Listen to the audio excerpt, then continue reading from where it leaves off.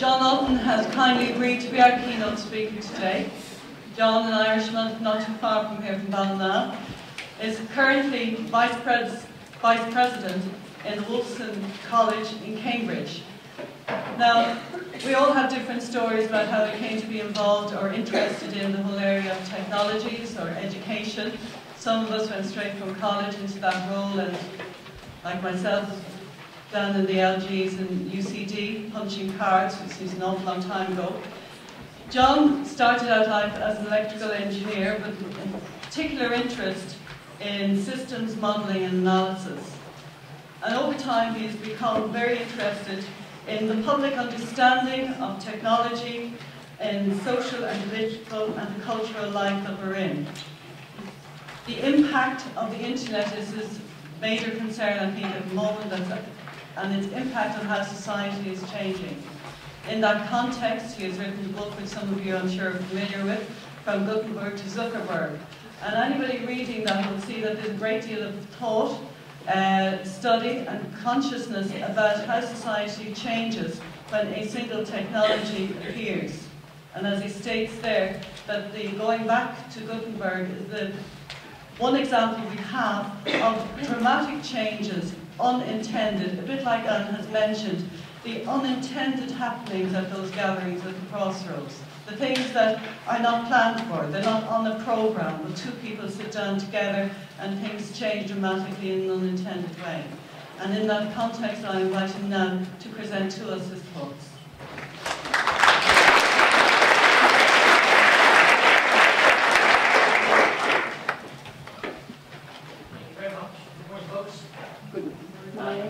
great uh, privilege for me to be here. My father's family comes from just down the road helped me quite a lot. Very nice to have the reason to be here. Thank you. Um, I've got a few things to say. Um, and um, first of all, I think I should say congratulations and happy birthday. Um, 40 years is quite an achievement. Uh, as those of you, many of you have not reached that point in your lives. Uh, and when you do, um, the only consolation is that Please speed up. um, what I really want to talk about is what, what the next 40 years might be like and what we might do in, in that period.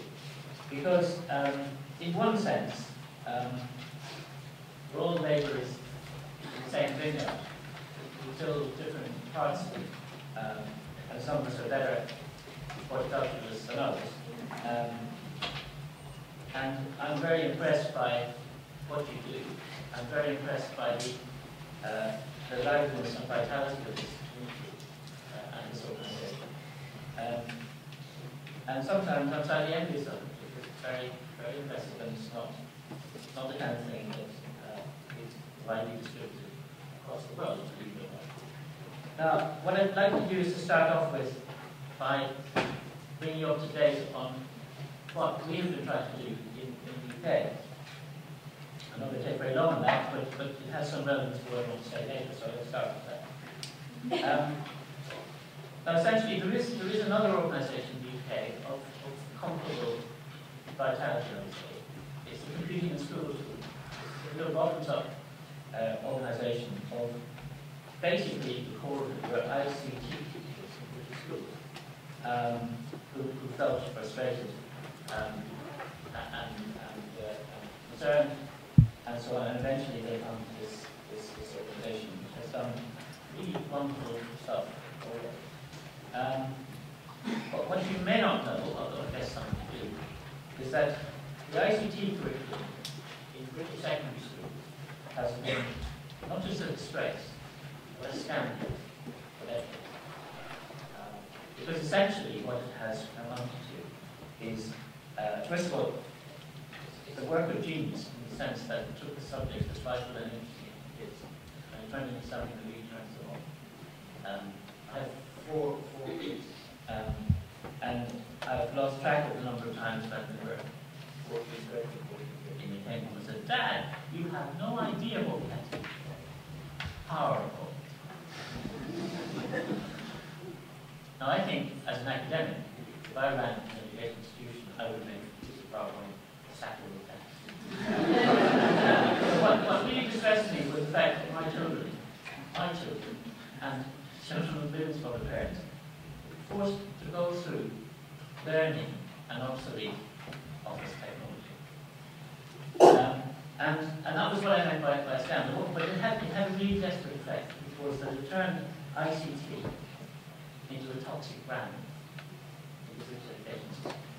Um, because it was viewed with contempt by the kids, and of course, in the end, it was viewed with contempt by head teachers, um, by school, by board of governors, and what it wound up doing is that the people who taught it were the lowest stakes people in the school, um, and so on. Now this is partly to do with British society and the culture problem is what's had, and which Ireland, in a way, hasn't had, because you haven't had the same, same ultra-specialisation of, of the great things of my, my childhood was that I went to the interviews, I wasn't obliged to specialise for the kids so I applied mathematics and is unthinkable in the school.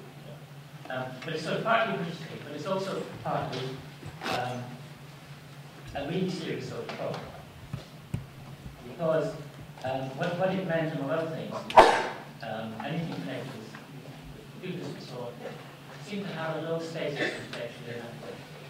And that had, in, in its way, that had other kind of consequences. For example, in, in, in my university, in, in Cambridge, um, which has one of the three best computer science departments in the entire world, even they noticed that at, at the rapid uh, time, the number of applications from students uh, study uh, at Cambridge.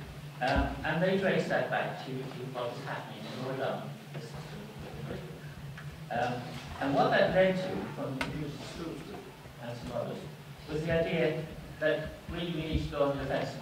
We need to, we need to explain to the establishment, to, to the people who govern the society, uh, to schools, to teachers, to government that there is a subject, and we call it computer science, and it is not what is taught in schools at the ICT.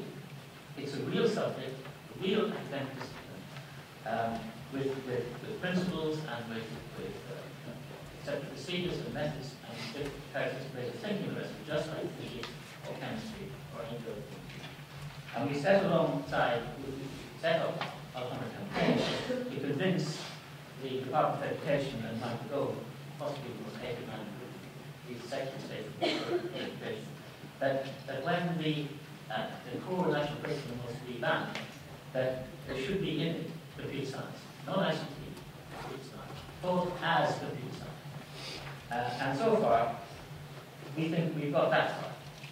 Um, and, but that's only the beginning, because uh, as, as somebody in the CAS group said, using military analogy, we, we won the air war. Now we have to put boots on the ground. We have to persuade tech teachers. We have, have to persuade government to fund uh, scholarships for, for uh, even if I do for mathematics and physics, uh, to, uh, to retrain as, as science teachers and so on. So there's a lot to do, but that's where we got to. And that's the story so far. Now, the, thing, the thing about um, I said this thing about computer science, and that, that turned out to be a really big shock for, for most of, most of the uh, non-technical culture. Um, the idea that this was a real subject, a body of knowledge not just skills, uh, but, but, but a, body of knowledge with a stable curriculum, which is independent of technique. Um, a very distinctive way of, of thinking and working. And this raised all kinds of questions, for example, about whether or not um, schools should teach programming um, and there are all kinds of interesting arguments about that. But one of the things that happened was also from Cambridge came uh, the Raspberry Pi. How many people have Raspberry I humbly suggest, for those of you who don't have one, you think. Um, that, was, that was an amazing serendipitous thing that happened. And it happened also partly because of this fear about not being able to get good students uh, to, to a very good department. Um, uh, the, the Cambridge University the department decided one way of trying to, to sort out students would be to, to, to invent a very cheap throwaway computer that 50 people who to. Every two who And when they, when they applied, uh, the criteria for admitting them would be, when they came back, what did you do with that? If you something interesting, you. That was, the original drive for, for, uh, uh, what, what nobody anticipated was that it would sell a million so far. And probably sell 10 million by this time next year. Um, and the other thing that one should say about computer science is that it doesn't need kit. There's a wonderful guy in New Zealand science himself. So wonderful teaching children using kit. So that's, that's kind of an update of, of where we are. Now, the question that, that, that was constantly asked was, well, why, why should we do this? And the first set of answers that were given are all drearily conventional. The straight out of conventionalism, of the tired, uh, time-lapse thinking of politicians, of the mainstream media, of clueless commentators, and the technophobes generally. The first one is well, there's a really good reason for teaching children this stuff. Because, uh, you know, the economy needs people who are computer literate. Uh, uh, the, the, the game industry needs um, somebody else needs them, whoever needs But we need people who are computer literate, by which they generally mean people who can self I not computer literacy, but that's what they decide. But that's a brain answer, Of course, economists need modern economy who are, as it were, accomplished, fluent users of whatever technologies are important at any particular time. That's true. That's, that's, that's a great um, Another one was to arrest the decline in the application study of science at British universities. Um, a third, better reason, and one that I'm sure your experience will also confirm, which is that um, intelligent use of computing is a way of improving when we learn and understand other subjects. Uh, and I think that's a perfectly, perfectly valid and important thing. And then the final thing is that it provides kids with, with work-based skills.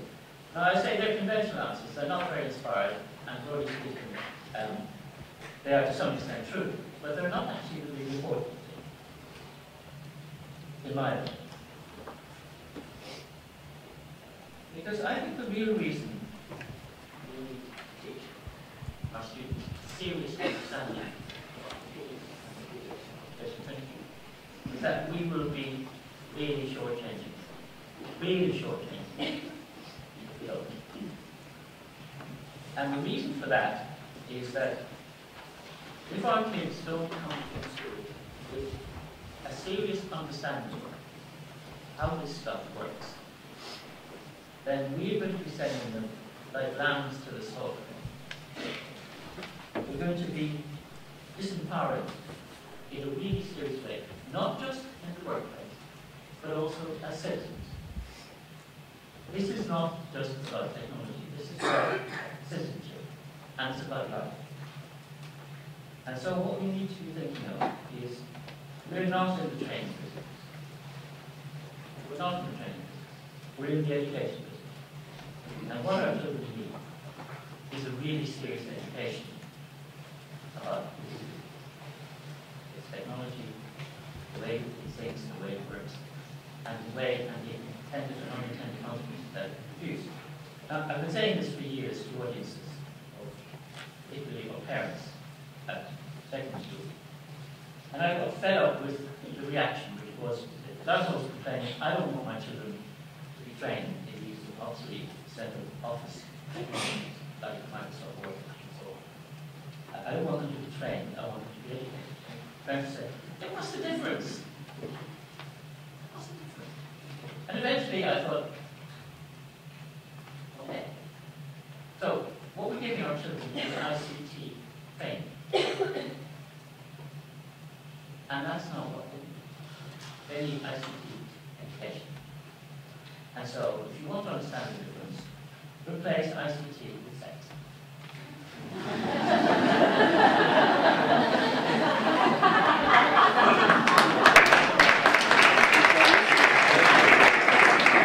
Do you want your children to have sex training? or sex education? and guess what? Then they get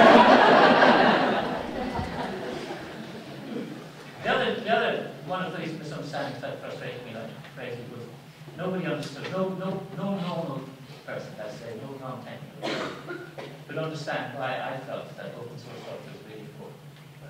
They just didn't get it. Just didn't get it. And for, years I went on, hanging my head on the wall. And eventually I had an idea. Because what I was trying to get across was that it's really important about open source software and about open source everything is that uh, it's the freedom that gives you freedom to change. And of course, to somebody doesn't write programs, the ability that the ability to change the program is not deal. So message what came through. And in the end, um, in the stroke of what I modestly termed genius, I started to bring with me um, Nigella Lawson's recipe book. Everybody understands recipes. Okay. And I would say, look, what would you think if you were cooking something from Nigella Lawson's uh? And you decided that you didn't want to use double cream, because as you know, Nigella Lawson is famous for dollars in double cream. If you like, being a good countess, you like fraiche. And if you had to write and get her permission to change the recipes for you, then you not fit that? And all of a sudden, folks get it. Because that's what it's all about. It's the freedom to control and change the things that you use. That's what it's about. And in fact, in a way, that's what all of this stuff is really about. So we need education, not training. That's the real reason.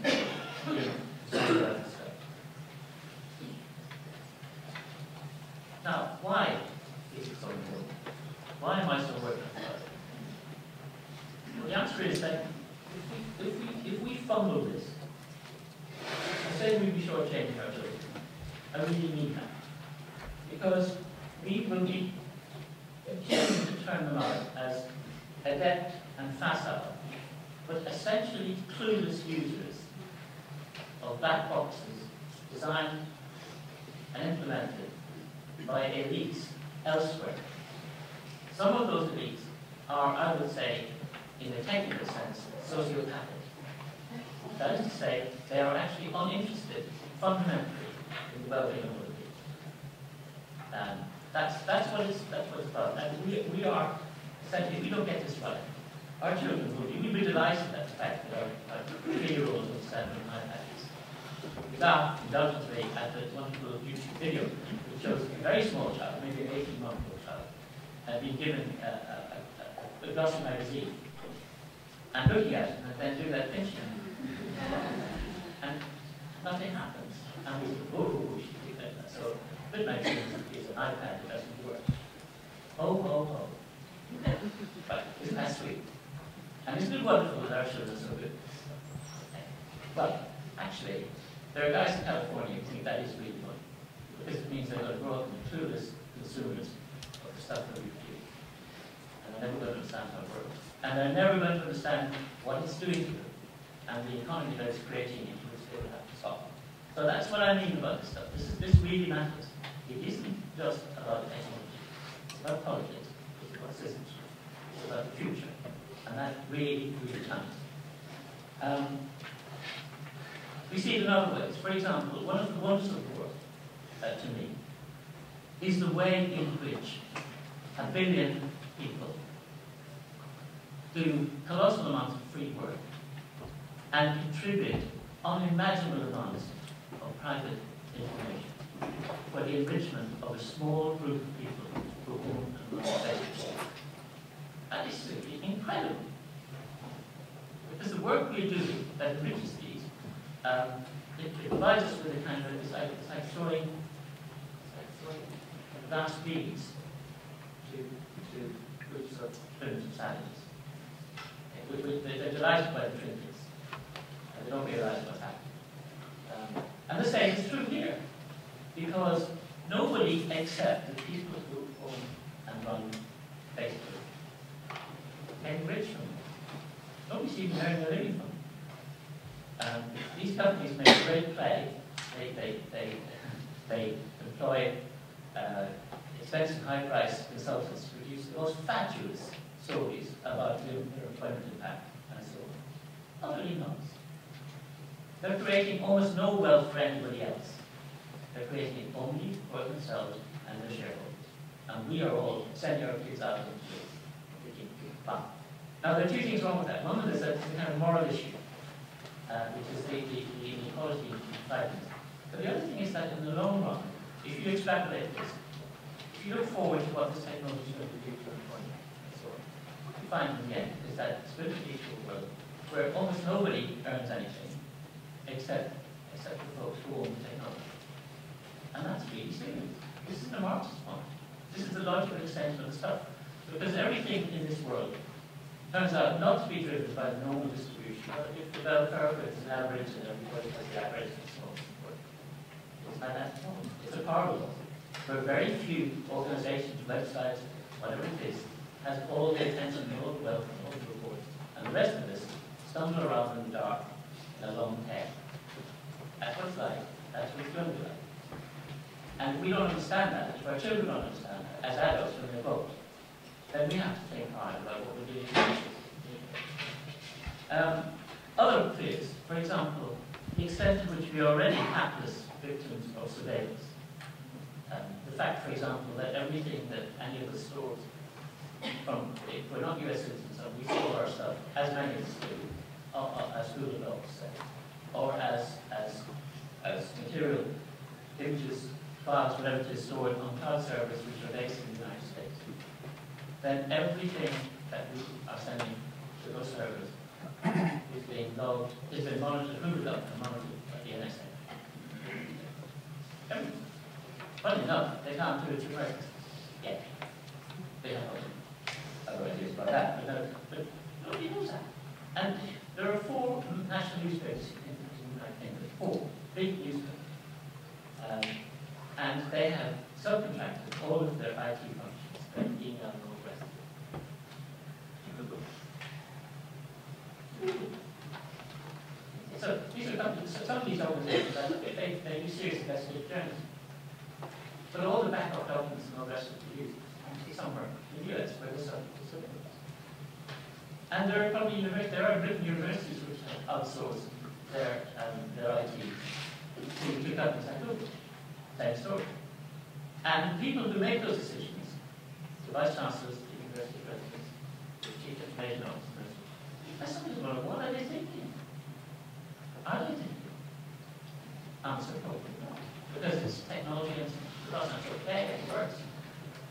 And also we're sick to death of IT. Because they have to do one. Um, so what, what, what, what, what, you see emerging already is kind of sharecropper type economy. Very close You know what sharecropper is? It's very close. You, you, you, do, you, do, you do work on that, you do it home. Most of your, most of your projects goes to your, your laptop. Um, and you get it yourself. Actually, in the case of Facebook, you, you get it yourself. But the only bit you get is, is the fact that you know, one, one of your forebears is running on they hold or whatever. But the point is that this is, this is a new kind of world. It's, it looks it's really weird when you think about it from a secular point of view, but from a business point of view. And I guess, most of all, what worries me about this is that we are inadvertently um, preparing our children to be losers. Losers not just because of the hapless, uh, the, the hapless uh, users of, of, of this stuff provided by, by elites elsewhere, but also because actually most of us have very little idea of what the technology is going to do in the longer term. For example, if you may indeed, I guess, have, have looked and smiled fondly at uh, one of the Google projects, which is the uh, self-driving car. Well, I mean, it's, it's absolutely, as an engineer, I think it's an utterly charming project because it's, it's, it's something that's very ambitious um, and, and so on, and yet um, by throwing enough money and ingenuity at it, something good happens. Um, but it's very significant because actually driving a car is something safely and well. It's something that I always assumed, naively, would be the kind of thing that machines couldn't do.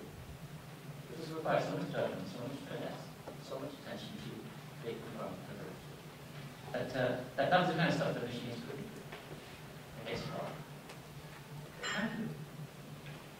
And what's worse, they do it better than us.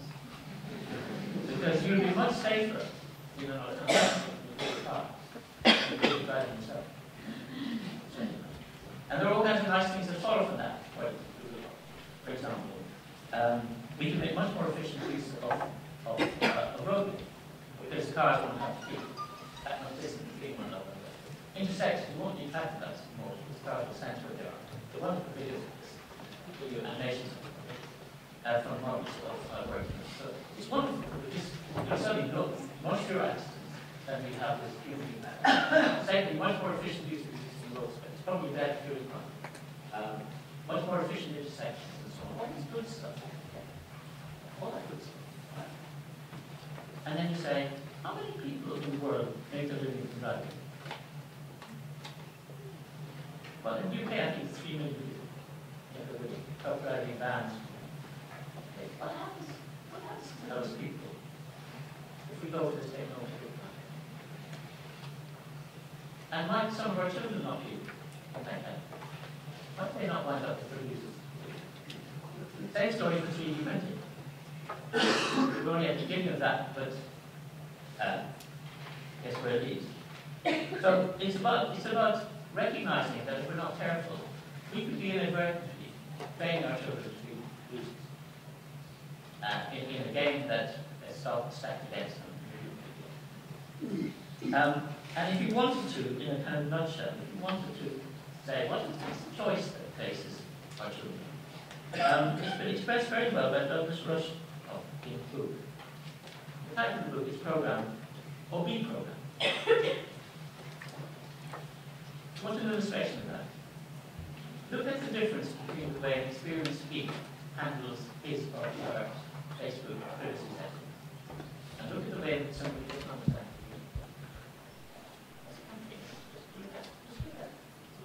So that's, that's the message in my opinion. That's the choice. Uh, it's program or be programmed.